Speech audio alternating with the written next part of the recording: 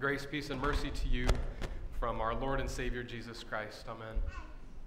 As, uh, as I said this morning, uh, we're going to begin a series starting today talking about how, how the Spirit changes us, how because of Christ we are transformed. Right? Christ changes things. In fact, He changes us. And, and we want to start today with this well, an opportunity for us to look through a, a portion of the letter to the Ephesians. The Apostle Paul, by God's inspiration, wrote this letter to the church at Ephesus, Christian church, a gathering of Christian people. And, and he writes in chapter 4 God gives words that describe the unity of his church, the unity that should exist among, among us. And so, of course, we know that God's church should be unified even throughout the world, but, but to make it practical, we know that God desires for us to be unified, even right here within this little small part of the body of Christ here within this congregation. And, and yet, unity, and yet unity is hard. Uh, th- this happened several years ago. Um, I don't know, quite a few years ago. A different state, different place, different church. Um, a gathering of God's people, leaders within the church. They were actually the elders of the church, and they were getting together to meet one evening to discuss a kind of a, a mess, a little matter that was happening within the church at the time. And uh, they're there meeting, the pastor's there meeting with them, kind of explaining, uh, helping them to get caught up on what happened. And, and this is the scenario. Uh, the scenario that uh, a lady um, was offended by something that another lady did, and um, and instead of coming together, instead of speaking about that offense, instead of giving an opportunity for uh, you know, uh, an apology to take place, for forgiveness to happen, instead, the one who was offended uh, began to kind of embellish the story, call other people, tell other people, and, uh, and create it into this huge mess. Right, so now there's several families, they're, they're leaving the church, they don't want to be a part of this mess. And, and so the pastor contacted this person, invited them to come, they refused to even talk about it. Um, well, talk to everybody about it, but refused to talk to the person they needed to talk about it. So, so anyway, the church leaders are getting together and they're sitting and they're going to discuss how to handle this matter, uh, how to bring some forgiveness and some healing uh, among, among the people that are involved. And... Uh, well, the conversation just didn't go real well. Uh, one person, one of these guys in the group, well, it was a long day for everybody. Everybody was tired. They were worn out from a long day of work. And then to discuss a matter like this, and one of the guys had already heard several versions of this story that had gone around and, um, and was getting angry. Is getting very angry. And um, and, uh, and the others, the tension in the room was building because they saw this guy's anger boiling over. And, and this guy is, is uh, like pointing at the pastor and, and saying that the pastor was lying about this or that. And, and, and in fact, uh, acu- not only accusing the pastor, but then invited the pastor to go outside in the parking lot to settle the matter. And like, what in the world is happening here? And I know this story. I was that pastor that I'm telling you about. I remember the story well because then, then the guy stood up and he was on a little folding metal chair and it like flew back and land, and crashed and so it added to the and then all the guys stand up and and so a couple of guys kind of physically restraining this guy and uh, and then you saw it happen. You saw yeah. Welcome to ministry, Penny says. Um, but then you saw it happen. As soon as they like stop him, you, you seen he realized his, his shame, his regret, uh, his, his, his temper had gotten out of control, and it, and it was ridiculous, and he knew that. Uh, the, the bad part is that, man, it took a long time for him to um, get over that embarrassment, that regret, that sin, right? It took him a long time to, to work that through, and for, for unity to come back. It was like a year later before he even had a conversation, was willing to have a conversation with these other men that were there in that room. You know, unity is hard. Unity is hard because there's, there's not only the difficulties and the struggles that, that take place, but it's our own sin too. It's our own struggle. And so we say stuff and we do stuff that, that causes disunity even in the body of Christ. And, and uh, you know this is true. You know it's true because if you're around the church any length of time, in, in fact, if you're around a group of people any length of time, you could probably tell a similar story. Maybe, maybe it was words that came out of your own mouth. Maybe it was actions that, that you did. Maybe it was actions you witnessed uh, or a hurt that you, that you endured. Uh, unity is hard, it's very hard.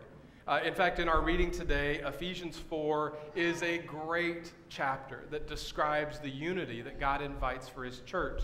In fact, a little homework. Uh, we're going to be looking at Ephesians all through the month, and so uh, next week, during the week, even over the next month, uh, spend a little time reading. It's a very short book.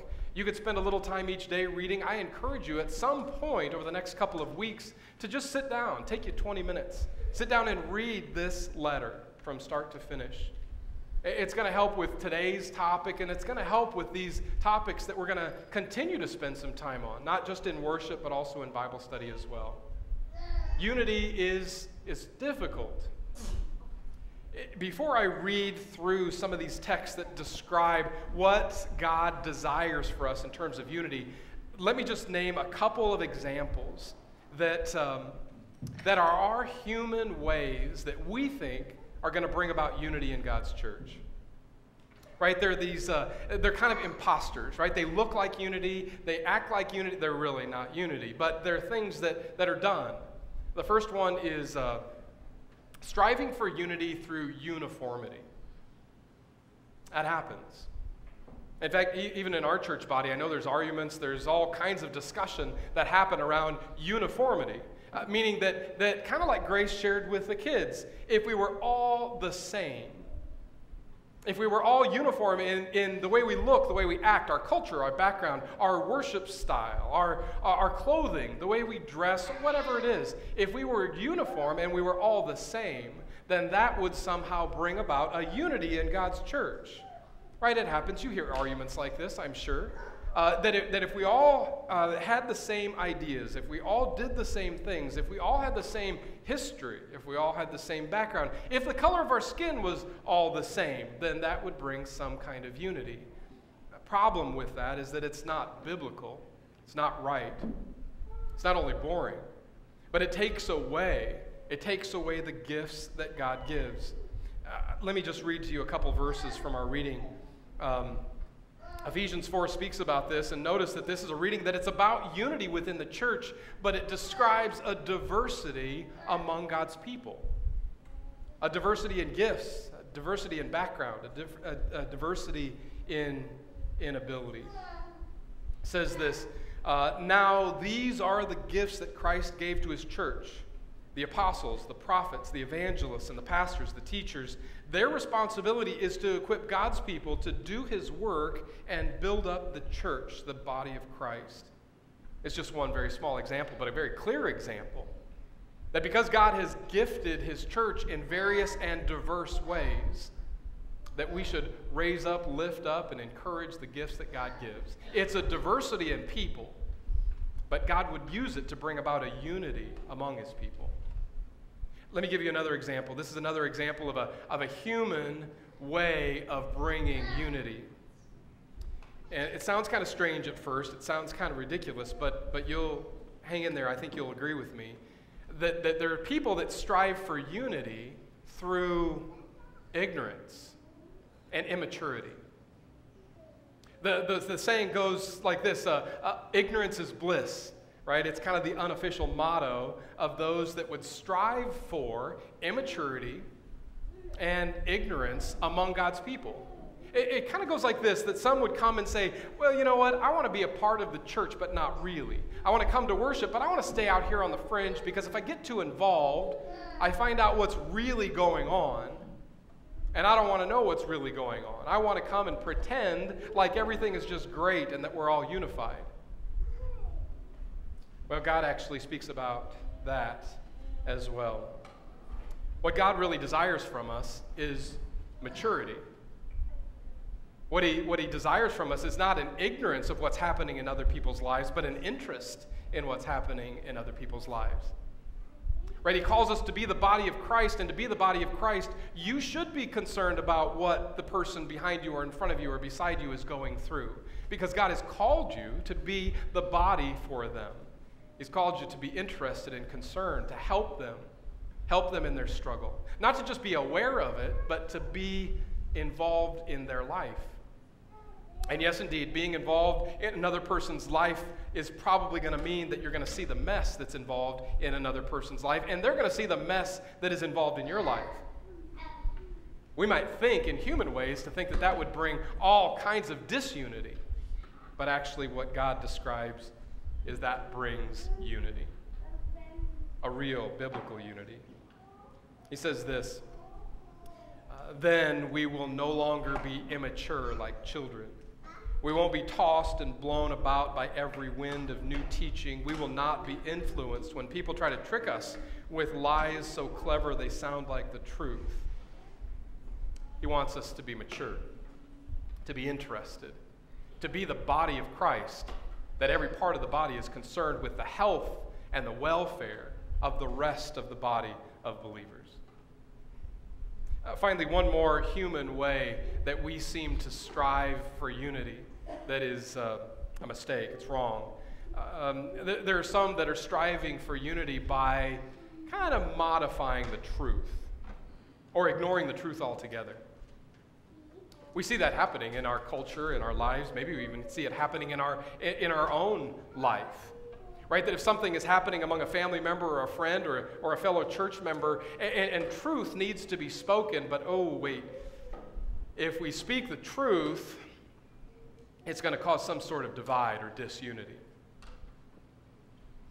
When actually, what God says very clearly is that the truth must be spoken. He says it clearly. Instead, we'll speak the truth in love. We'll speak the truth in love, growing in every way more and more like Christ, who is the head of the body, the church.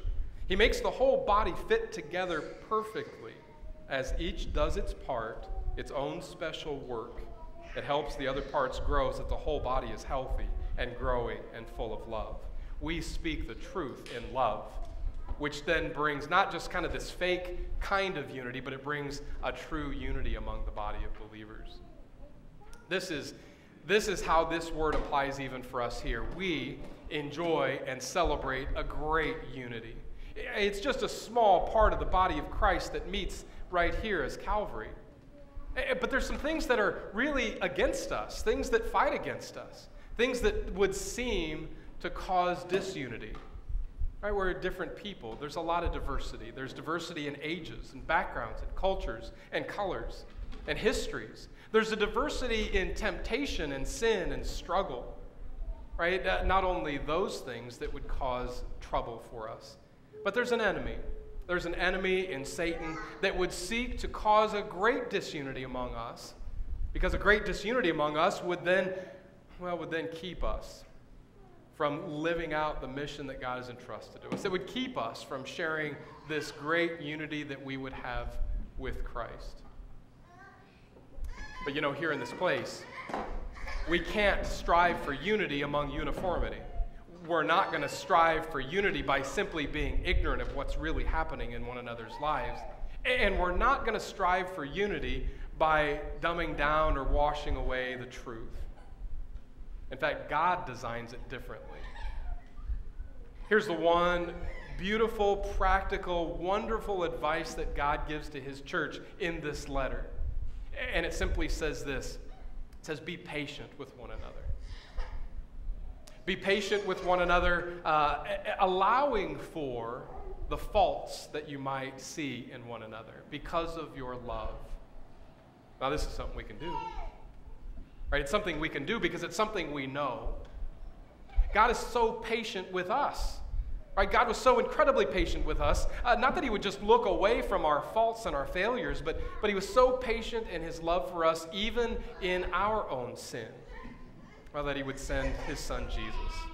And that Christ would die for us to give us perfect forgiveness. It would give us perfect unity with our Heavenly Father. So, of course, with this perfect, restored unity with our Heavenly Father because of Jesus Christ, we can live in unity, in patience, in love with one another.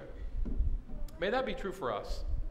Right? May, may we strive for a unity not based upon what our human understandings might bring, but may we strive for a unity uh, that is based upon what Christ would bring. And that unity is based and focused on and growing in Christ Himself. Amen.